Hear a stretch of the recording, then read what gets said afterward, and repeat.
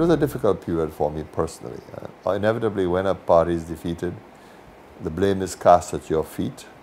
And uh, it was a lonely period because there were those who felt that I had failed the country as a leader.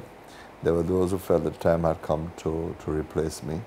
So it was for me a period of psychological rebuilding, having to uh, cope with all these accusations and all these criticisms, and yet um, re reaffirm that you are still the best person around to lead the party and you can do it. Um, that the loss can be explained by a range of factors. I mean, it's an exceedingly lonely period. Um, and then there's the adjustment, the desertion that occurs. Uh, when you lose an election, your friends or so-called friends disappear. Uh, the quality of treatment begins to change. And it's important that you, the individual, understand those things and why they're happening and do not in turn react with any anger, but see it as a process, something that is, that is, that is inevitable.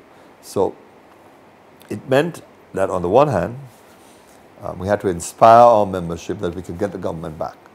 The results indicate that there were good possibilities. What mattered was how we managed the politics of opposition and also what, um, what mattered that we had to rebuild confidence, reaffirm confidence in the leadership of the party. But I'm so grateful to the membership of my party, to the ordinary people who support the Labour Party because while there were those around you at other levels of the party who were criticizing and who were casting doubts, the ordinary people, the rank and file members of the St Lucia Labour Party, continued to believe in me.